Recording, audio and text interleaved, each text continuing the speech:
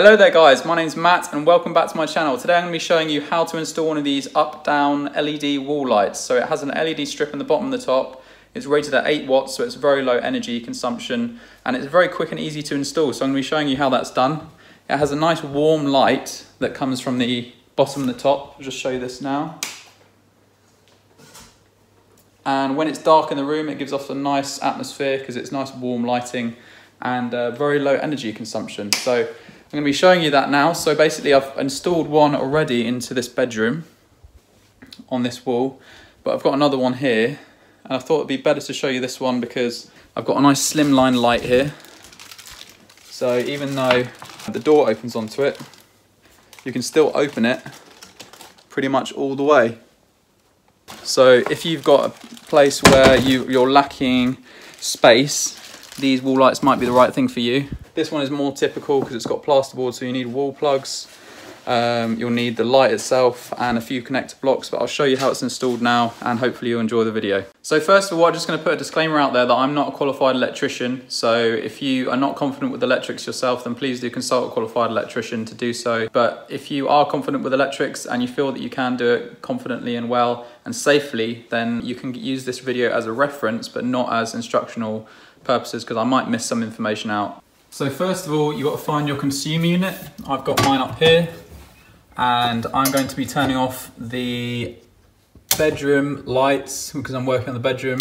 I'm going to turn off all of those switches, all the kitchen sockets and the RCD that controls all of these circuit breakers. I've got another set over here, but I'm using the rest of the room, so I'm gonna leave these on. But if you really wanna be safe, you can turn off the whole of the electrics for the house, turn off the light switches as well, make sure it's the light switch is actually off, and you'll have several positions of safety because the contacts will not be touching.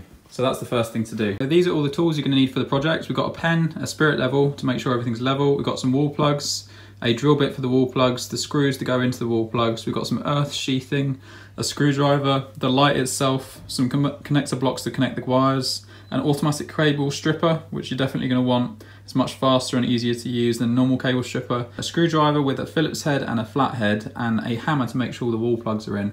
But I'm going to show you each tool as we go through and how to do everything as we go along. But if you want a list of all these tools, then please do look at the link in the description because I've got everything listed out for you. So first of all, take your light and there is a little screw here with an earth cable attached to it. We're going to take that off and then basically get this metal thing out and that's what we're going to be attaching to the wall. So that's the first thing. And then get your spirit level and basically we want the screws to be on the underside of the light. So we're basically going to offer this up to the, the position where the cable is coming out and then put a spirit level across here. Make sure it's level. The bubble is now level approximately. So I'm gonna hold that in position, mark out the positions of the holes here. There's one there and there's one there. And you can see in the positions of these holes, that allows you to move the, the, the bracket left and right and this allows you to move it up and down. So it doesn't need to be exact. Once we've screwed it in, we can move it around. Okay, so now get your cable strippers. Um, and I know that these cables are off, so I can touch them, everything's fine. Uh, but what I'm gonna do is, I know that I can push that into the wall back to there, and you basically want to have about two inches worth of cable sticking out of the wall. So I'm gonna cut all of these at the same time.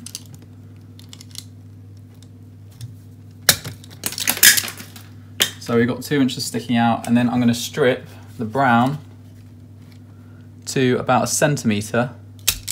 You can see that strip there. And then strip that there. That's stripped. And you can see how easy this is with an automatic cable stripper. The good thing about these is that once you strip it, you know that you've not damaged the cross-sectional area of the copper because that's the main the main issue with electrics is if you damage the copper and you have thin sections then you're going to have very heated parts of wire which can cause a fire so always use an automatic cable stripper like I said link in the description for this it's a very cheap item and it's much easier to do the normal cable stripping and now I've stripped the cables and I'm actually going to drill the holes now going right in the center of that little oval shape that's been made. I've got an 8mm drill bit for the 8mm wall plugs. And obviously it's just a plasterboard wall, so there's nothing behind it. And once I've done that, we've got these wall plugs and some screws. You just want to choose a screw that matches the wall plug um, well so that it expands and you want it to expand as close to the front as possible because we've only got a plasterboard wall. The plasterboard is going to be here so you want it to expand there. So this wall plug does. And you want to match the screw with the length of the wall plug. This screw will actually burst out at the end so it doesn't matter um, but I've, I've got a link in the description for the actual sizes that you can use. Um, but basically just push it through the wall and then get your hammer. And don't hit too hard because you don't want to damage the plasterboard too much but that's nice and flush with the wall there. You want it as close as possible to the wall. And then if you get that bracket that you had you can now screw the bracket in using the wall plugs that we've just installed. So basically put the bracket there start your screw off in the wall.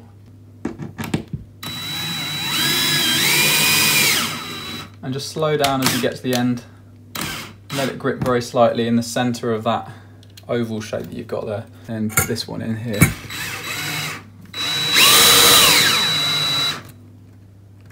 And then get the spirit level down a little bit more, up a bit. And that is now level. So now that's level, we can now start attaching the light to these um, cables with the connector blocks. So I've now got this strip of connector blocks here and you can cut them off by sticking them into the cable stripper um, and put it in the cutting section. Just literally cut it like that. And then cut three of them, I've already got three here. And then get a flathead screwdriver that will fit into the holes that you've got here. Loosen both of these screws.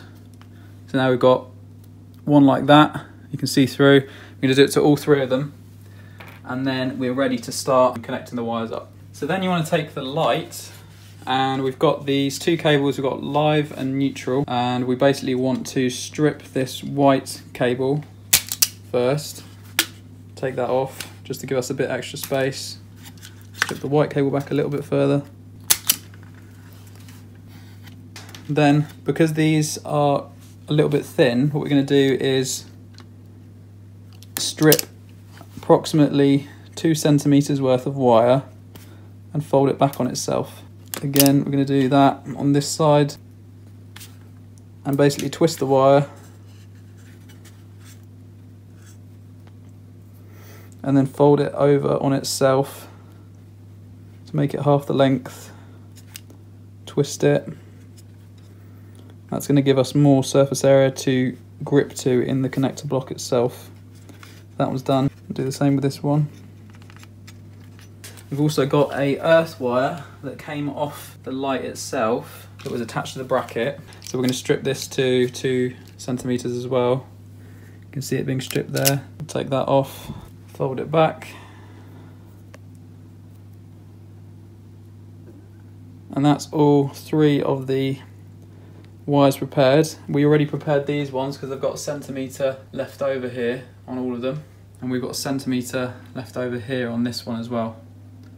So we've got two cables sticking out here. You don't always have two cables, but one is from the switch and it comes out of here and the other one goes in again and then comes out at that light over there. So there's one cable sticking out over, the, over there, but we've got two sticking out here. So all we need to do is connect up all of the lives together. And first of all, we're going to start off with this live here. So using the connector block, we'll connect all these lives up, pushing them into the hole. It's a little bit fiddly, but I just want to show you how it's done because then it's much easier for you to see.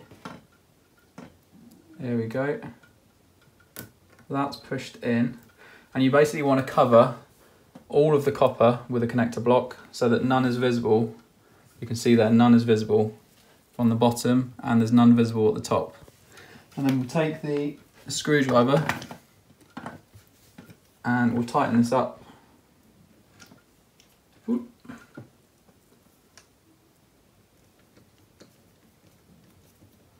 It's a flathead screwdriver because it's got a flathead screw in there. That one's tight. And we're using a 5 amp connector block because the light is 8 watts, so it's extremely low voltage. Could have used a 13 amp connector block, but um, it ends up being too big. The hole ends up being too big and it's very difficult to actually grip on the wires. So that's why we're using this one. Um, so we can still fit those two cables in there. If you have more cables, you might want to choose a larger connector block like a 13 amp or um, something bigger, but this is 5 amp and it's big enough to connect all those wires together, so we got them. Then we're going to do the, uh, the neutral and then we're going to do the earth wire, so I'll go ahead and do those now. So we've got the brown one connected here and we're letting the light hang from the brown wire because it's not too heavy. Uh, and what we're going to do now is just thread the, put the blue ones together into a bunch, thread that on the top there. Make sure none of the copper is, is visible from the bottom. Tighten up the connector. Also make sure there's none sticking out the top there. What I'm going to do is just tighten the connector up. and then tighten this one. And that's all done. So now we're going to take this earth sheathing and cover up the earth wire on both of the cables. So pushing this all the way to the end of the, the base of the cable there and then folding it over where the end of the copper is and then we're just going to reach in for a centimetre in so that we know we're going to have a centimetre of, of uh, copper exposed. So I've cut that there. We're going to do the same for the other one. I'll just drop that on the floor. Push that all the way into the base of the, the cable. That's where the end of it is. So we're going to reach in for a centimetre. So we've now got two lengths. That was that one. You can see we've got a centimetre exposed there, which is good for the connector block. Put this one in here. Another centimetre exposed. And for this earth cable that connects to the actual light, we're going to be sticking the connector block in this way and then sticking the earth cable in that way so that we can reach around and connect it to the light. You'll see what I'm saying in a second. And we'll stick them through that side and put the other earth wire through the other side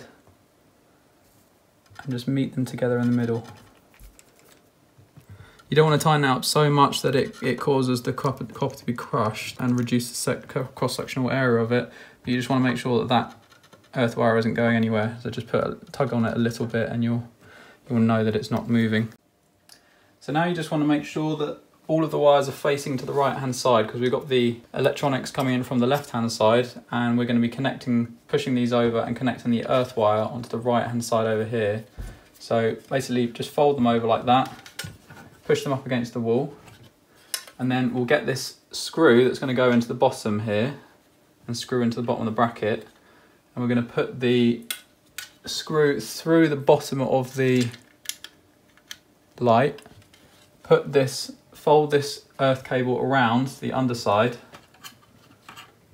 fold it over like that, and join it, if you can see here, while it's folded, to the other side of the screw. So you can see there, it's folded over. And then we're just gonna locate it into that hole in the wall.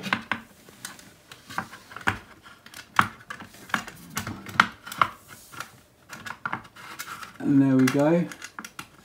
It's now into the hole. And it's pretty easy to put it in position. I know it doesn't look easy, but it is actually quite easy because there's a lot of play in this so it fits quite easily in position. And we've started screwing that in, but before we finish tightening it, you can take the other screw and then screw it into the other side where there is a, you can see here, I'll show you. You zoom in, you can see we've screwed in this side here. And we've screwed we're now screwing into this side here. So over here we've got the earth cable that is connected to the the metal on the underside of the bracket. And we've got this one here which we're now finally screwing in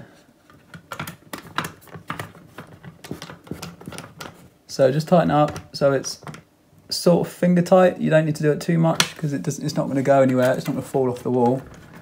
And then tighten this one up. That is now finger tight. And we'll just check that it's level. So we'll put the level, spirit level on top again. You see it's slightly over to the, we need to lift up this right hand side a little bit. And if you push on the bracket, as you as you saw before, remember there were those two holes, we can still move them. So if you push on the bracket itself and just slightly shuff, shuffle it up, you can level the light fairly easily and get it nice and level. So that's level now. Now's the moment of truth. I'm going to turn on the electrics and then check the light out. So we go back over to the consumer unit and I'm turning on the RCD. I'm turning on those switches again and we'll go back over to the light and there we go we have both of them on the wall. That one over there and that one over there. And you can see the nice slimline light so it can fit into awkward spaces. I can open that wardrobe fully. It doesn't get hot because it's it's not a high wattage lamp. And uh, so you could leave that there all day. It's a very nice and easy paintable surface. So if you did damage it at all, you can repaint it any colour you want. Um, yeah, and it's very, very low uh, use energy lights. If you found this video helpful and you do decide to go ahead with the project, then maybe leave a link to the video that you did or send me a picture. I'll be really interested to see it. Um, but if you like this video, please do give it a thumbs up and uh, subscribe. I've got loads more DIY videos on how to fit radiators, how to do plumbing and electrics, and how to do pretty much anything around the house. So if you like it, please do subscribe and I'll see you guys soon. Cheers.